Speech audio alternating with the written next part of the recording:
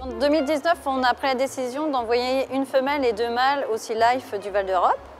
Donc cette décision elle a été prise uniquement parce que notre femelle euh, était seule dans un groupe de mâles et que la reproduction n'était pas euh, satisfaisante et qu'on pouvait lui donner une, chance euh, de pouvoir se reproduire dans de meilleures conditions au Sea Life. Donc on a pris la bonne décision puisque nos trois individus se sont bien intégrés au groupe du Sea Life, ont même trouvé des partenaires pour se reproduire.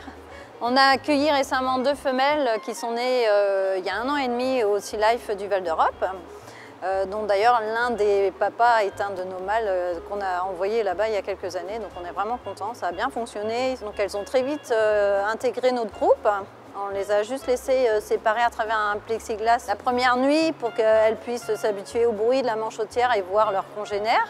Et très rapidement, on leur a donné l'accès à notre manchotière et au groupe. Donc nos femelles sont visibles dès la réouverture le 3 février d'Ossanopolis, hein, puisqu'elles sont complètement intégrées maintenant au groupe des manchots royaux de la manchotière.